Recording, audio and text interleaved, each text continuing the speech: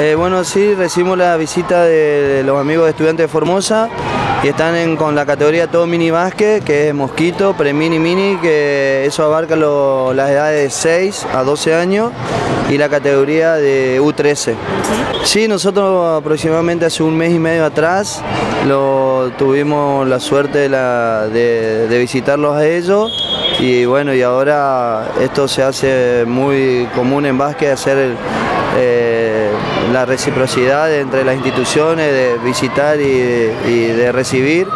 y para que el objetivo es que los chicos compartan eh, todo el día en el club, que se hagan nuevos amigos,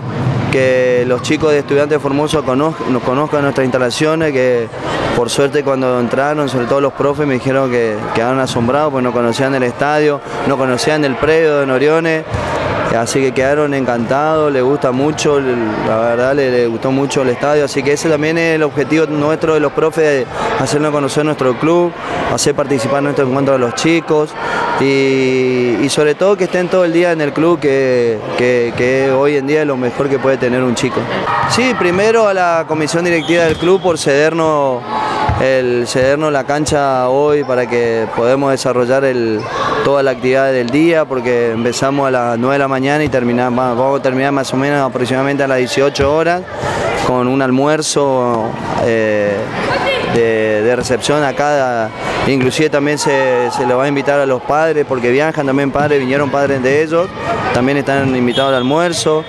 Eh, no solamente van a intercambiar los chicos, también van a intercambiar los padres. Así que agradecido con la comisión directiva del club y por supuesto con la subcomisión de básquet, con los padres, que la verdad que es un pulmón importante de esto, que, esto se pueda desarrollar, porque como yo siempre digo, los,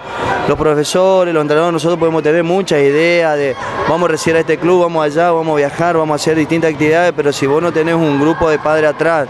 como el que hay acá de Don Oriones, eh, esto no, se puede, porque vos no podés estar en todos los... Nosotros organizamos, diagramamos las actividades, pero el almuerzo, el este, traer las otras, cocinar, estar, eh, preparar todo, la verdad que eso se, nos escapa y no podemos estar en todo. Entonces la verdad que esto es lo, eh, esto también se, es muy agradecido a ellos y gracias a ellos también lo podemos desarrollar hoy.